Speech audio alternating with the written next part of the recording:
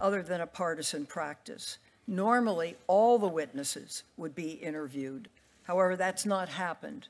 While the majority has reached out to several people, they did not notify me or my staff that they were doing this. And so ar- to argue that we would not participate, but not tell us what they were up to, is somewhat disingenuous.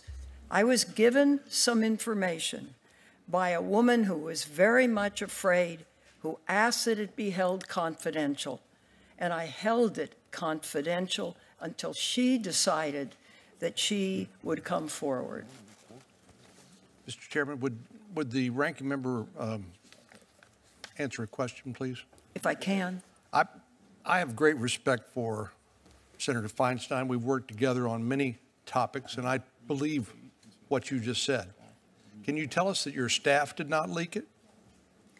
Oh, I don't believe my staff would leak it. I have not asked that question directly, but you- I do not Do you believe know they that? would. I mean, how in the world could that get in the hands of the, of the press? The answer the is peop- no. The staff Have you, have you asked, did your- not. have you asked your staff?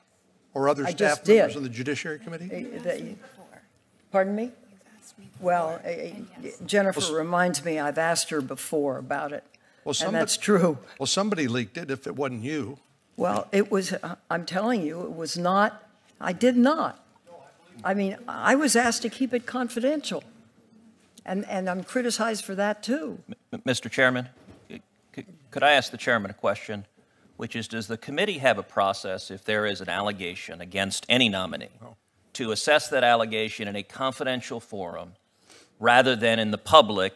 uh, Since Dr. Ford requested that it be kept confidential, is there a process for the committee for considering confidential Yes, allegations? uh, And the answer is yes, and I sent, Senator Tillis pointed out the document that I put out to show of all the things that we've done along the lines of your question. And Mr. Chairman, what would you have done if on July 30th, the ranking member had, had raised this allegation with you? As the chairman of this committee, how would you have We would have it? done like we have done with every uh, background, or let's say FBI report that comes from the White House with a nominee, and then uh, subsequent to that, because maybe the FBI got done with it three months ago, we go through the FBI or information comes to us, then we have our investigators in a bipartisan way, both Republicans and Democrats, uh, follow up on whatever those questions are or those problems that have to be worked out. So bipartisan investigators could have investigated this two months ago, and it could have been heard in a confidential setting